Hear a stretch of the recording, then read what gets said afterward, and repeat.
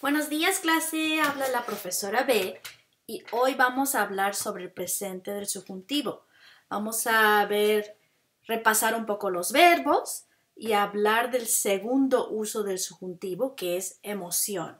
Entonces tenemos aquí el presente del subjuntivo. Se usa la forma de yo del presente, se quita la O, ¿verdad? Como ven aquí, hablo, como, escribo y se agregan las terminaciones E, es, E, hemos, eis, en para AR. R y R cambia A, as, A, amos, ais, an. Entonces la vocal cambia la E a A, la A a E, ¿verdad? Y tienen que memorizar las terminaciones y la única que tiene acento es habléis, comáis y ah, escribáis, ¿verdad? La forma de vosotros es la única que tiene acento. Entonces es bueno memorizar las terminaciones. Luego vimos todos los irregulares, ¿verdad? Que son en la forma de yo, como yo conozco, cambia conozca, conozcas, conozca, conozcamos, conozcáis y conozcan. Que vosotros tiene acento siempre. Y voy rápidamente porque ya lo repasamos eh, anteriormente, ¿verdad? Entonces tenemos eh, la forma de cargar, sar, como cambia de ortografía C-A-Q-U, G-A-G-U, y Z a C. Por el sonido y también por la ortografía, for the spelling. Ah, repasamos los que son ah, cambios de raíz. Piense, pienses, piense, pensemos, penséis, piense. Nosotros y vosotros no cambia, ¿verdad?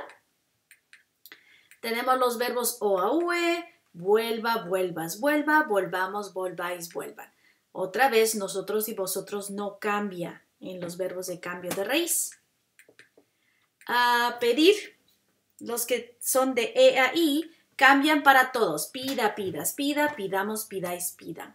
Y noten otra vez, eh, cambia de raíz, pero las terminaciones siguen las reglas, ¿verdad? Y R cambia a, as, a, amos, ais, an. ¿Ok? Entonces pueden ver cómo todos cambian. Y luego había unos que cambian doble, como sienta, sienta, sienta, sintamos, sintáis, sientan. Hay unos pocos verbos que cambian doble, doble irregular. ¿Ok? Estamos repasando rápidamente, a ver si se acuerdan, ¿no? Luego tenemos los de O a UE y O a U en nosotros y vosotros, como duerma, duermas, duerma, durmamos, durmáis, duerman. ¿Ok? Pues tenemos los dos que cambian O a U durmamos, durmáis. Suena muy raro, ¿no? ok, y las que tiene que memorizar. Ok, de tiene acento des, de, demos, deis, den. Este, estés, este, estemos no tiene acento. Estéis, estén. Sea, sea, sea, seamos, sea y sean. Sepa, sepa, sepa, sepamos, sepáis, sepan. Vaya, vayas, vaya, vayamos, vayáis, vayan. Entonces aprendimos Número uno, ¿cuál era el uso número uno? Deseo, influencia, voluntad.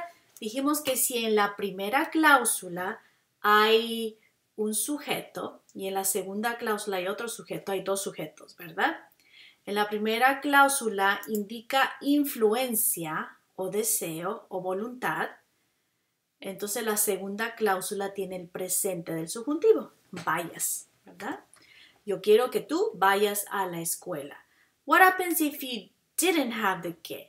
If you didn't have the que, then you would just say, yo quiero ir a la escuela. There's no two subjects. Que solo hay un sujeto. I want to go to school. Ok, ahora, uso número dos. Ok, ¿cuál es el uso número dos? Entonces, número uno es voluntad, deseo. Uh, número dos es emoción. ¿Recuerdan las emociones? Entonces, la primera cláusula debe indicar emoción. Si expresa emoción y estamos en el indicativo, yo me alegro, alegro es indicativo, ¿ok? Present indicative. De que tú hagas ejercicio.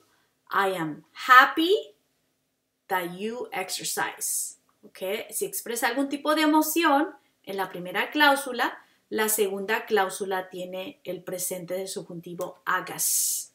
Hay dos sujetos, yo y tú. Siempre hay dos sujetos. que, que conecta las dos cláusulas. ¿Ok? Entonces, muchas oraciones o uh, frases que indican emoción son me gusta que, me molesta que, es triste que, temo que, es una lástima que, yo lo siento que. So I like that, it is sad that, uh, it is a shame that, it bothers me that, I am, I am afraid that, yo lo siento means uh, I feel that, or I am sorry that, okay? For example, if you want to say, I'm sorry that you are sick. Yo lo siento que tú estés enfermo. Entonces aquí tenemos la primera cláusula indica emoción, en la segunda cláusula van a tener que poner el presente del subjuntivo.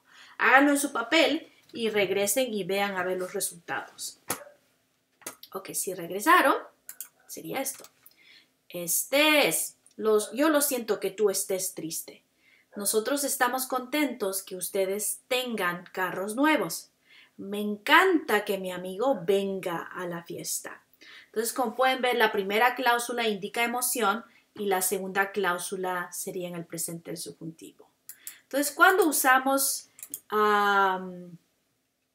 emoción, se usa con una situación, que se usa el presente subjuntivo con emoción para expresar una emoción sobre una situación.